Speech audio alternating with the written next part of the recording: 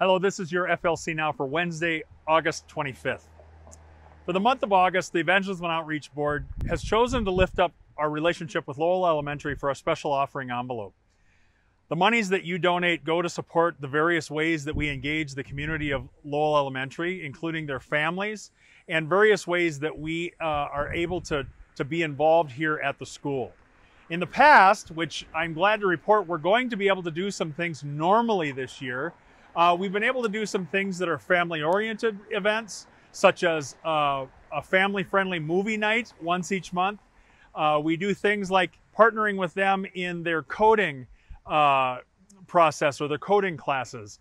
We do things like uh, offering to support uh, families in, in crisis need. also, because Lowell does not have a PTA of their own, we get involved in various roles like class parties, uh, and stuff like that, making the experience just a fuller experience here at Lowell.